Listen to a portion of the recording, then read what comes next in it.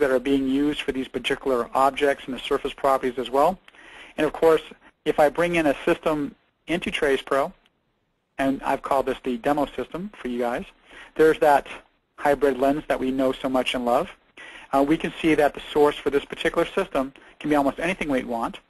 I have a die surface over here. Right now we're specifying that this is a Lambertian flux emitter, but it's very simple to go to the surface property and pull from our catalogs a Luxeon Rebel Cool White LED. And here we go. I've just done that. You can then specify calculated wavelengths so we can see true color. And I'll specify the, a few of the visible wavelengths here. We only need about three or four to completely cover the spectrum. And the program has already been put into the program. So we're using a real source here that's been taken from the uh, setups. And uh, so that's capable of doing that. So there's our, our information on the, the source.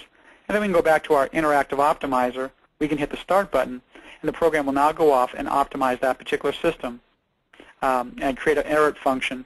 There's our variables that are being shown for those particular points as we go through the optimization. And we can stop it at any time to see what's going on. We can also, this uh, part of the dialog over here in the bottom right shows the Candela plot if we've called that up uh, from TracePro and actually want to show that as well. So we can see the program going through, doing the optimization, ray tracing the system, getting results, and then feeding them back to the, the optimizer, and according to the spreadsheet, then creating that target. I'm going to stop the, uh, the optimization here. And what I'd like to do at this point in time is to close down a couple of these windows and bring you into an even more sophisticated system, which is the demo with a reflector. And so this is the type of capability you can do. You can start adding more objects. If you go to the Object tab over here, I could right-click, say New Object, and what I've done during that portion of this is to bring in the capability to specify this as a reflector, this piece in here. And so now I have the hybrid lens, and I have the reflector here. And the reason why I'm doing this is that I'm going to try to make sure that no one can see the LED itself. So in other words, there's no high intensity coming out there. You can't see the LED die. And the way that I do that is by completely sending all the light outward at, at 70 degrees and then using the reflector here to send the light out collimated towards a target. In this case, I can go from a 90 degree output LED with like a 70 degree half angle to something that's almost collimated. And so these type of LEDs and these type of systems are perfect for the design and use of the interactive optimizer along with TracePro. So I've pretty much gone through the whole system, what you can do with the TracePro product, what you can do with the optimizer, and I'm going to go now into a question and answer session. Uh, in fact, uh, what I'd like to do is find out what kind of questions you have. Um, so if you would, please type in your questions, and I'll be glad to go over them and show you uh, what TracePro can do, or, or hopefully to answer uh, any type of things that I haven't covered.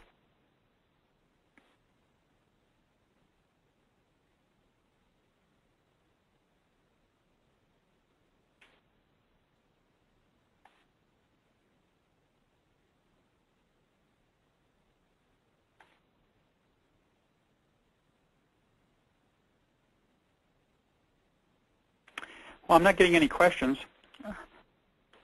at this point in time. Um, please, I do have someone who's raised his hand.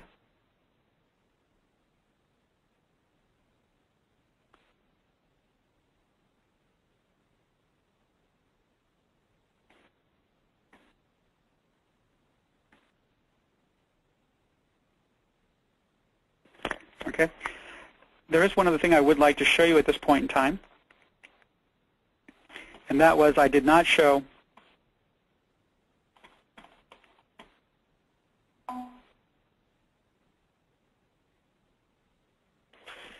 how to start using the optimizer.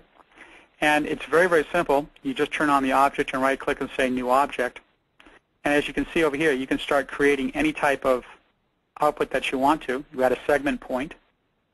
You can move that whenever you want it as well. So if this was your reflector, it's very quick to, to start that off. I can then add a segment point.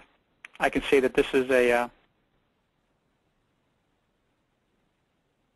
a line or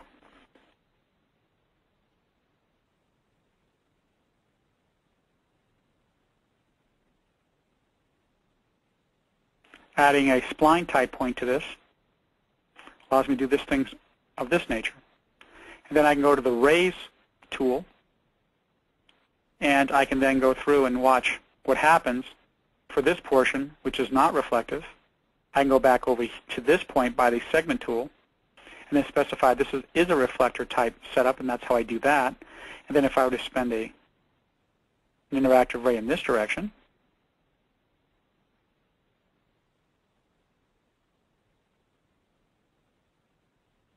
see what happens there. I have a question. What are the different goal options for the optimizer? Uh, in the optimizer, I believe what you're asking, David, is if what type of targets or merit functions that you can request.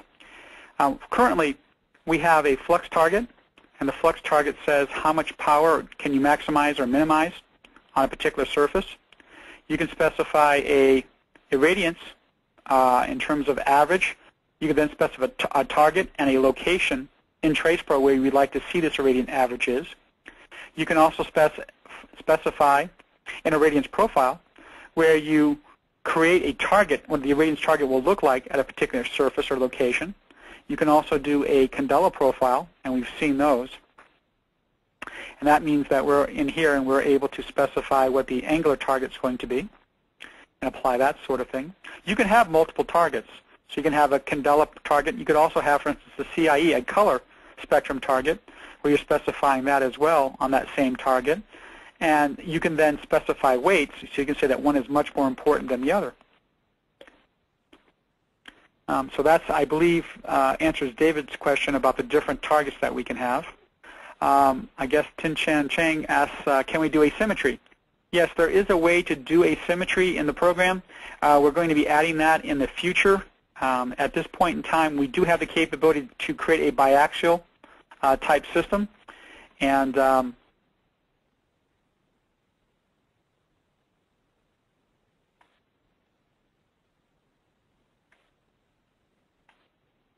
And um, right now, I do not have that particular system loaded, uh, but you will be able to specify that you have two objects, two sketches in both directions, and then to combine them into a second asymmetric system.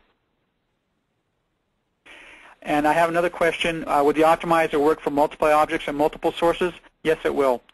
And what's happening here is that currently we're showing an interactive ray trace but when we call out TracePro, we can have as many sources as we want. We just have to specify them in the TracePro portion of it. The utility only specifies the geometry that will be changing or varying to be optimized in the system. And yes, you can have multiple objects because you just click on the object, say new object, and now you can specify a second object on top of here.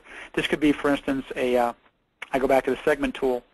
At a segment point, this could be then a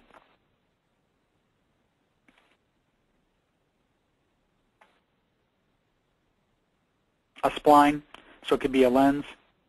So we could create a lens right after this particular reflector, for instance. Okay?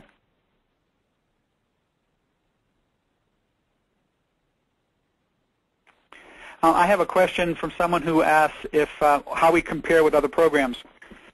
The way that we compare with other programs is that the, this program is interactive.